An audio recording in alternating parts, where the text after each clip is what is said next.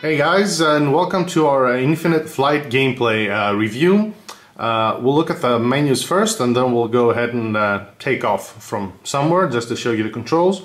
We have a solo mode and a live mode. The live mode, uh, uh, you have to have a subscription so you can fly with other players from around the world. So we'll go with the solo mode.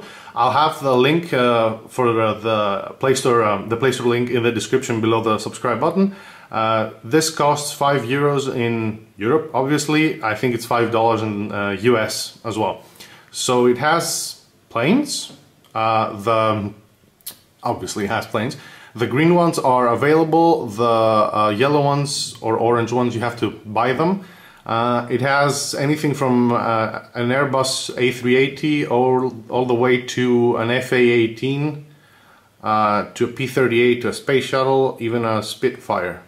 So you won't have a shortage of planes uh, from the get-go. And we can choose our airports. Now, this is the same as the planes, uh, available in green and uh, orange is to be purchased, but these are not airports. These are maps, these are territories.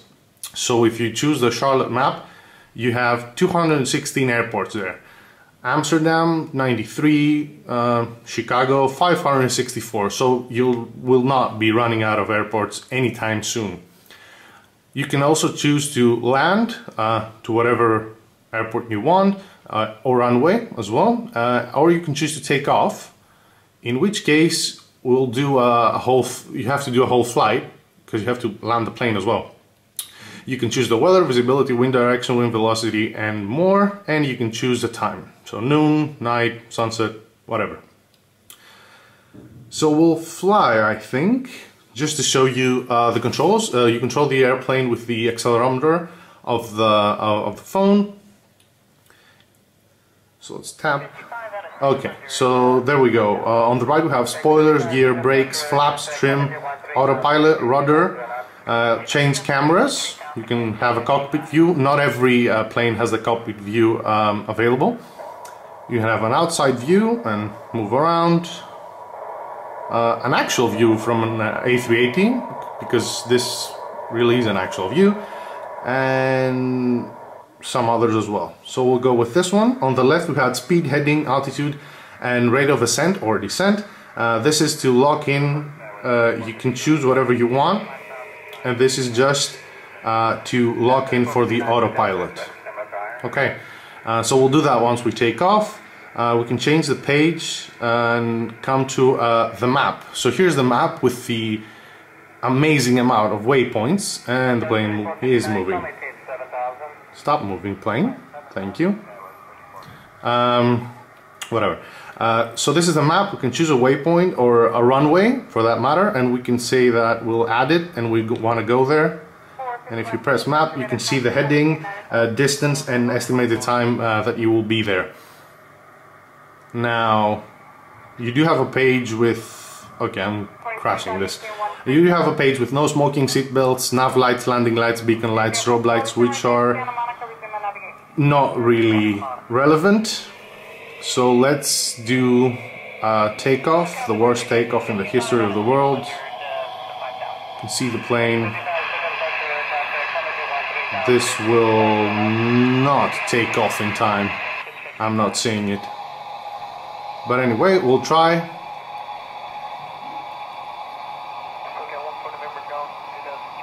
And we're in the air. We're airborne. Okay, so okay, gear is up.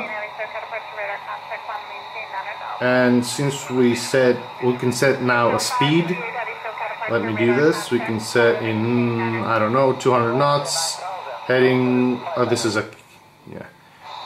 Uh, altitude and a rate of ascent of, I don't know, 100 feet per minute. And set the autopilot and lock in the altitude, the heading and the speed and now the plane will figure everything out uh, and you can have now you have time to look at your map look at uh, where you're going how much time what heading you should uh, follow and you can change all of this from here and we can do a seat belts on off no smoke these don't really have a, you know, they're not really, they don't do anything because you can't see in the plane. But anyway, uh, so this is uh, Infinite Flight. It's I think it's a very good simulator. It's not the best out there for sure, uh, but it is a good simulator, and I think it's you can try it. Uh, you can try it. The Play Store I think has already changed to, and you can change heading and everything from the autopilot. You don't have to go back to manual.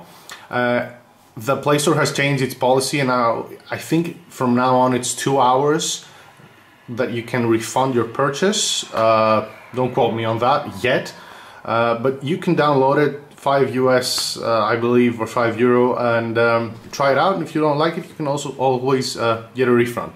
So this was uh, Infinite Flight uh, for Android, and I'll see you in the next video.